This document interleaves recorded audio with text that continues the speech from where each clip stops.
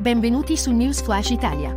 Vi invitiamo a lasciare un like, commentare e attivare la campanella per rimanere sempre aggiornati sulle ultime notizie. Grazie. La celebre conduttrice televisiva Antonella Clerici ha mantenuto la promessa fatta durante la sua convalescenza, recarsi ad Assisi per pregare sulla tomba di Carlo Acutis, il giovane beato che ha sentito accanto a sé durante un momento difficile della sua vita. Attraverso le sue storie su Instagram, Antonella ha condiviso la sua presenza nella città umbra, mostrando un sorriso sereno e un messaggio semplice. Assisi, come promesso. Durante la sua recente convalescenza, Antonella Clerici ha parlato del profondo legame spirituale che ha sviluppato con Carlo Acutis, beatificato nel 2020. La conduttrice ha raccontato di aver notato ripetutamente l'immagine di Carlo sul suo telefono mentre navigava in rete, pochi giorni prima di scoprire di avere un problema di salute.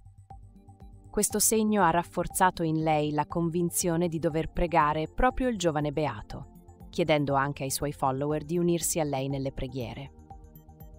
Dopo aver trascorso le vacanze in Normandia e aver partecipato a una sagra a Grondona con la famiglia e gli amici, Antonella è finalmente giunta ad Assisi. Qui ha vissuto una giornata di riflessione e gratitudine, senza però condividere dettagli intimi del suo momento di preghiera. La Clerici ha scelto di mantenere riservato questo momento personale, limitandosi a pubblicare un semplice selfie che riflette la sua serenità interiore.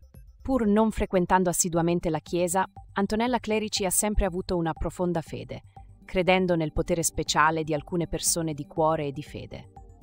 Dopo l'intervento, la figura di Carlo Acutis, che era stata così presente nei suoi pensieri, è scomparsa dal suo telefono, confermando alla conduttrice la sua convinzione di dover ringraziare.